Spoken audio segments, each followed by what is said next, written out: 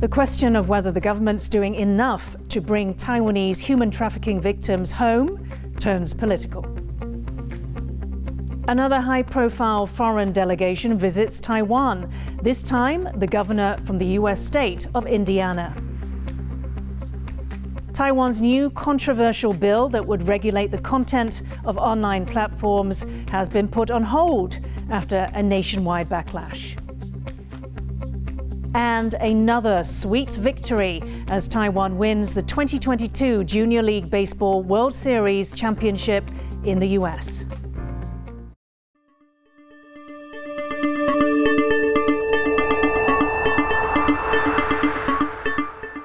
warm welcome to Taiwan Plus News. I'm Yin Khvat.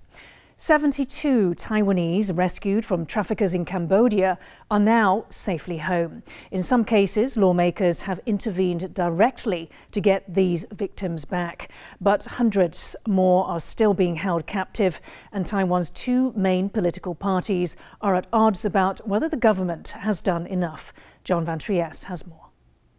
For five Taiwanese citizens, Sunday was the end of a nightmare. Like hundreds of others, they were tricked into going to Cambodia with a promise of high paying jobs. Waiting for them instead was a prison. Human traffickers beat them and even threatened to remove their organs. The five landed home with the help of Wu Lihua, a lawmaker from the Democratic Progressive Party. She organized interest free loans so that relatives could pay the ransom for their release. 因为我们都是鼓励他们先尽量是借不到我们再来帮忙，不是全部依靠别人，他们还是自己有努力找钱。Wu is not the only lawmaker trying to repatriate victims of trafficking. Three others from the opposition Kuomintang, or KMT, went to Cambodia last week, where they met with locally based Taiwanese to discuss the rescue of captives. They also brought one victim back with them. But rather than a common rallying point for Taiwan's two big parties, the fight against human trafficking has become the center of a political blame game. This just months before a midterm election. One of the Kuomintang lawmakers who went to Cambodia has accused the government of not doing enough.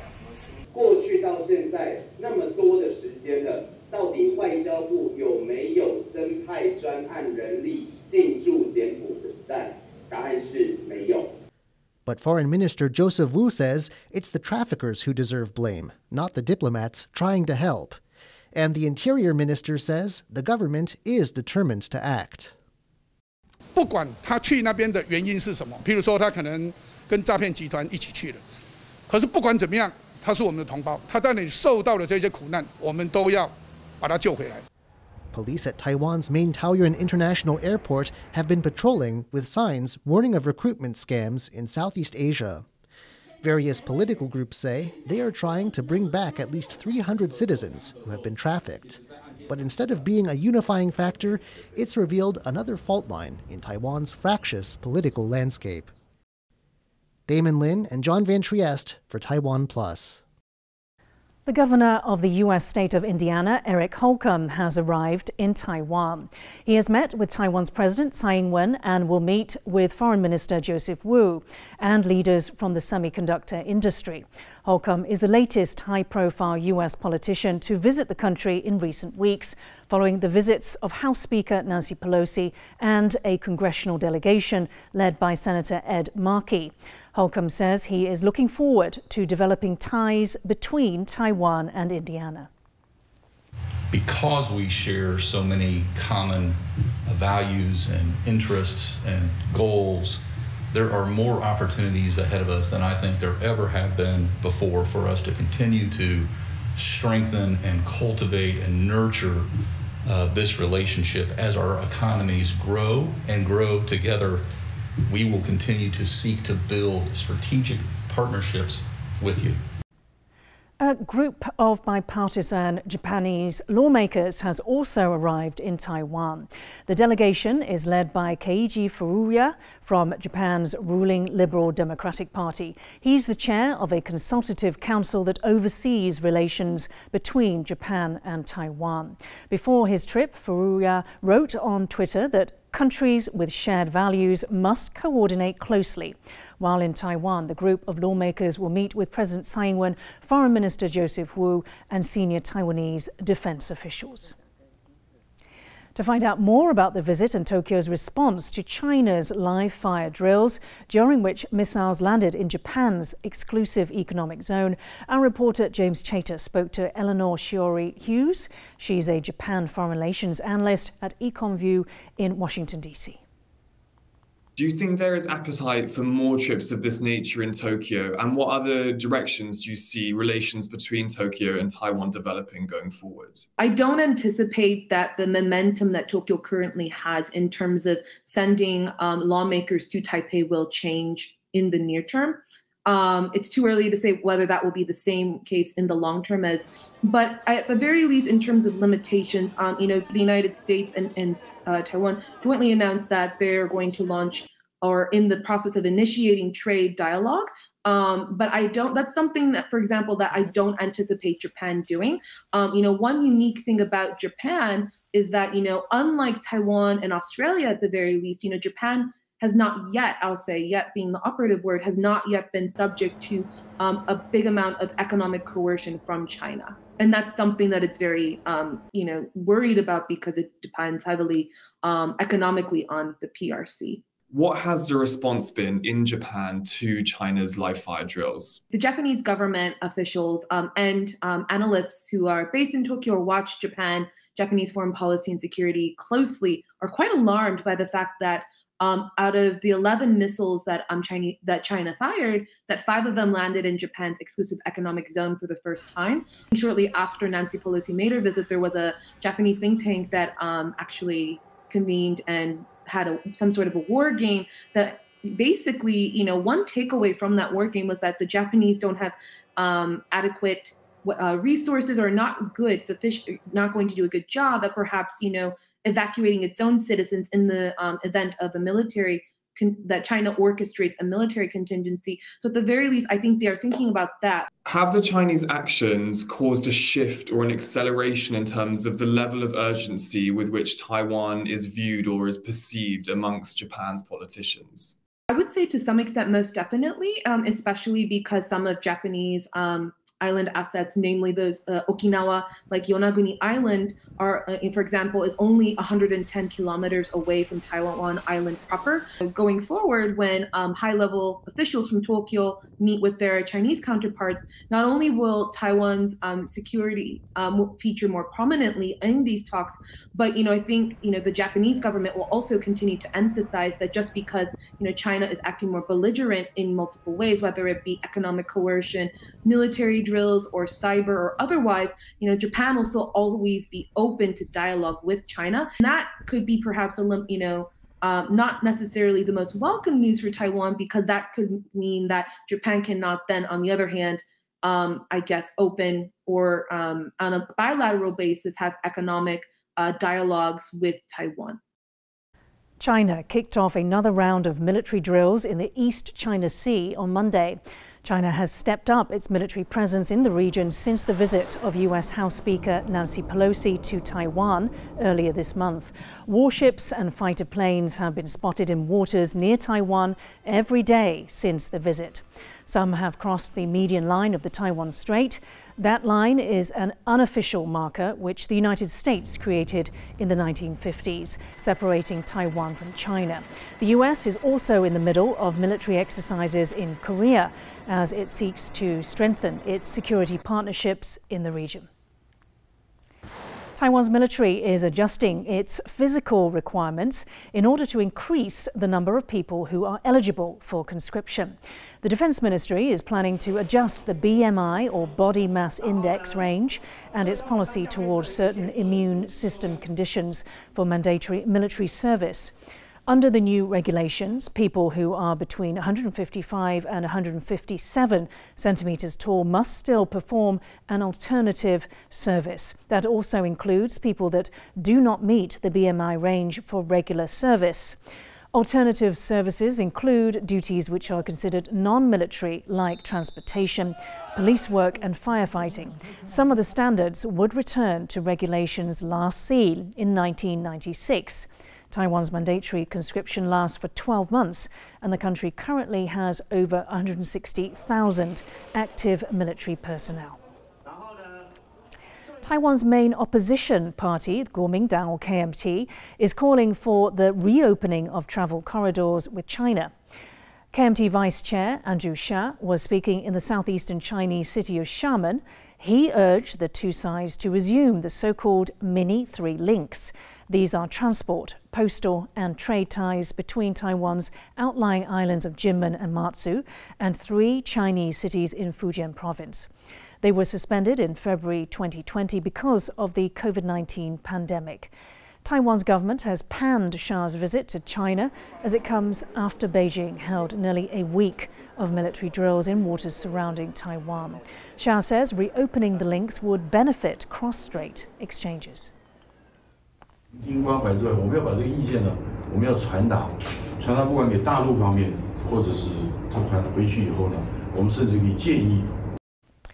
Two police officers have been killed in the southern city of Tainan. The officers were reportedly investigating a stolen car when they were assaulted and stabbed multiple times. They were rushed to nearby Anhan Hospital but did not survive. The suspect is believed to have stolen one of the officers' firearms before fleeing the scene. Authorities say a search for the attacker is underway. A bill that would regulate the content of online platforms has been frozen amid widespread backlash. Digital service providers fear that it would stifle freedom of speech. Eugene Huang has more. Opposition lawmakers are up in arms about a bill called the Digital Intermediary Service Act. The bill is meant to limit online crimes like fraud and spreading false information. But there are concerns about ambiguity of language the scope of the government's authority to intervene, and what the bill will mean for freedom of speech. Online platforms have voiced concerns too, and Taiwan's National Communications Commission, or NCC, says the bill is being put on ice for now. 意图用数位中介服务法钳制人民言论自由，涵盖人身尊严、国家安全、仇恨或歧视的规范，却都没有明确定义出标准哦。 给予行政机关无限扩张认定的权利。草案就是政府提出来的方案，就是民进党执政党的立场，所谓的新的言论戒严的一个草案，当然全民不能接受。而这么离谱的一个方案，我相信民进党提都不能提，而提了就表示这个政党是真的是民主倒退。The ruling DPP defended the bill, saying it will counter disinformation. 这个假讯息，好，那我们应该要有一些约束啊，你不能让这些平台，哦，去赚取广告，或者是说他们有一些利益，可是他们完全不负责，我想这个也不是好的一个呃现象。The NCC says that it hasn't been pushing the bill and that hearings about it were only meant to collect opinions. It says a draft of the bill hasn't been submitted to the cabinet either, but the body hasn't laid out a plan for further discussion. Chris Ma and Eugene Huang for Taiwan Plus. Coming up, we analyse what upcoming changes to the law in Singapore mean for the country's LGBT population. Stay with us after the break.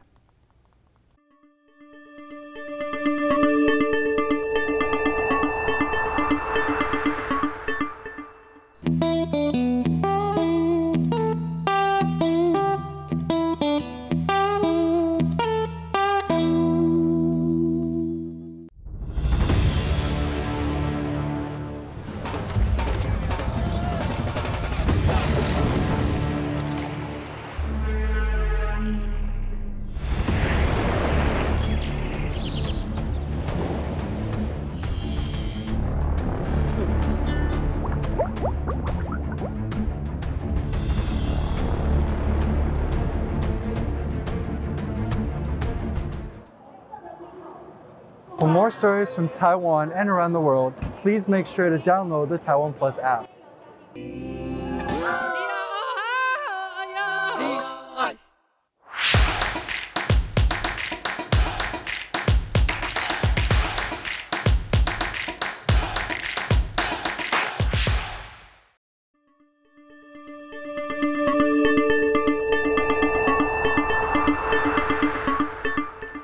Welcome back. You're watching Taiwan Plus News. Let's take a look at some of the headlines from around the world. A car bomb in Russia has killed the daughter of one of President Vladimir Putin's close political allies. Russian investigators say it looks like Daria Dugina was killed by an explosive planted in the SUV she was driving on Saturday night. Her father is Alexander Dugin, an ultra nationalist who supports Putin's invasion of Ukraine. Father and daughter had attended a concert and reportedly switched cars at the last moment, leading to speculation the bomb was meant for Putin's ally. Singapore has announced it will repeal a law banning sex between men. The colonial era Section 377A of the Penal Code outlawing homosexuality carries a sentence of up to two years in prison. It has been on the books in Singapore since the 19th century, although it has not been enforced for years. Prime Minister Lee Hsien Loong announced its repeal on national TV Sunday night, adding that the government will also amend the constitution to define marriage as between a man and a woman, effectively blocking any hope of legalizing same sex marriage in the country. The government will repeal Section 377A and decriminalize sex between men. I believe this is the right thing to do and something that most Singaporeans will now accept. For more on what this means for Singapore, our reporter Ryan Ho Kilpatrick spoke with Singaporean activist Roy Ngerng. Activists have been challenging 377A and calling for its repeal for a long time. So, is this a victory for equality in Singapore? Many uh, LGBT groups and uh, gay individuals are celebrating online on Facebook.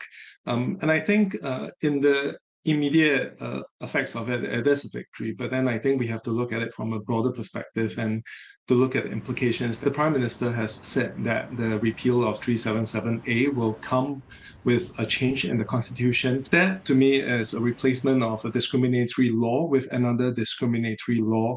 As you just said, the law simply isn't being scrapped, but it's being replaced with a new law, a constitutional amendment, in fact.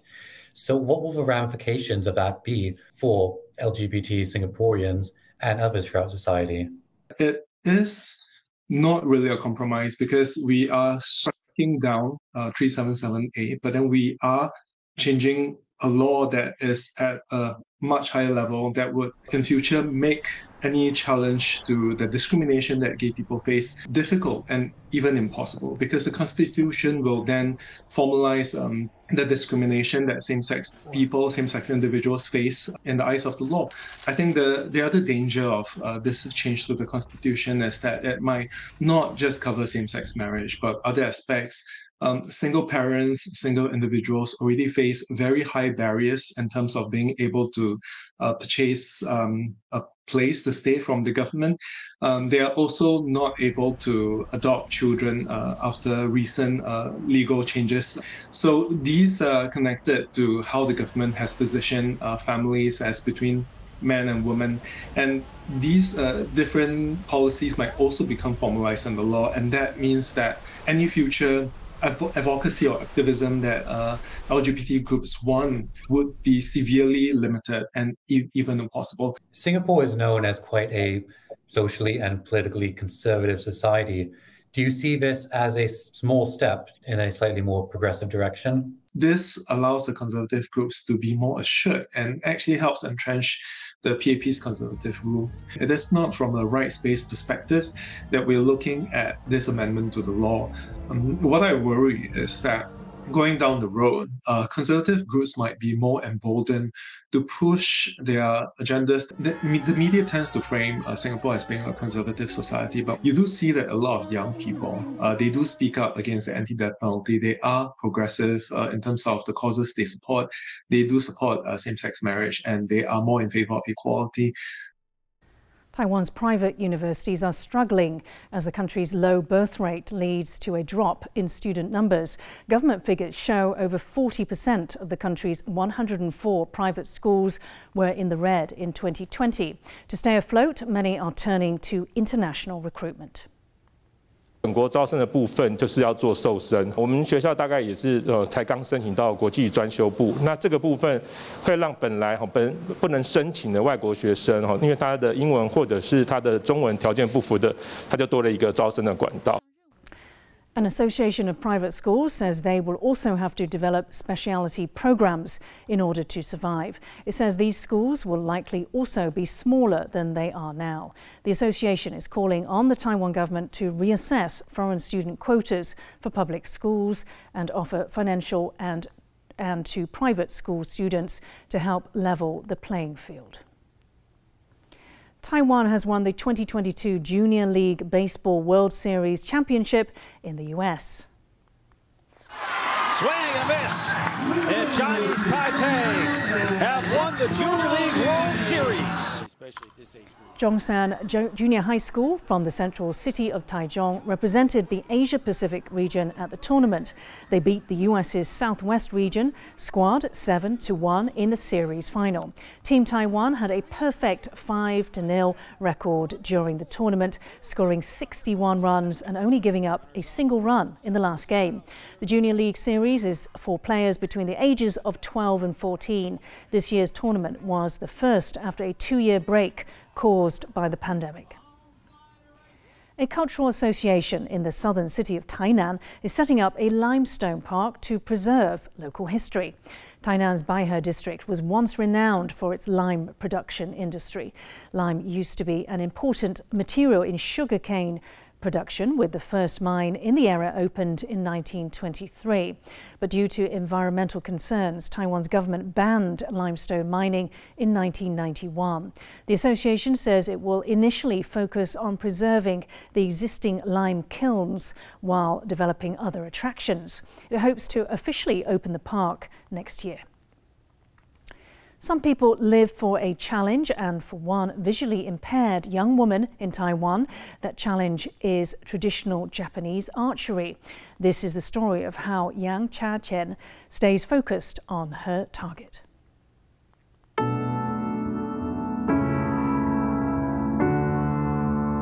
我们不必瞄准靶心，只要回头修正自己。 用身体去做记忆。当我们达到了震射，不用瞄准就能射中。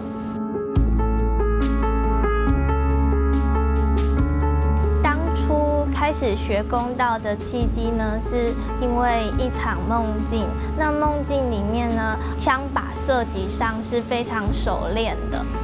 梦醒之后是。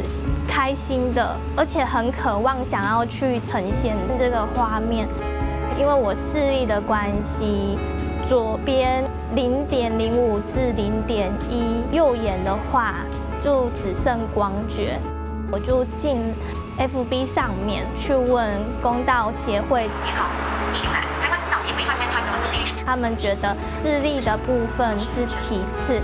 主要是身体做到位，也能让剑上靶，所以我在二零一七年的九月踏入了公道的领域。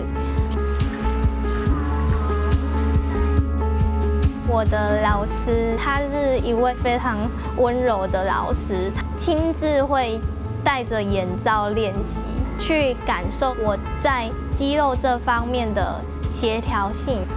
像视障者，他的平衡感本身就不好。老师他知道我的平衡感不好，他会想尽办法去用我们的角度，视障者的角度去判断说，哎，我在哪方面需要加强。教学相长是一件很自然的事。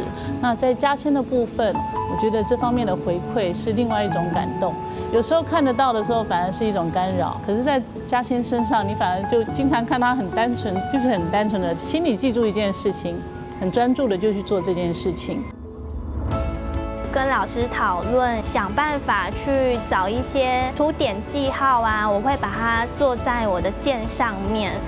地板，我一开始我要先贴个胶带，去判断走到第几步的时候，我就要进场射箭。了解那些定位点了之后呢，开始有一种心理地图的概念。那有心理地图概念之后，那些胶带啊、胶条啊就不用再贴了。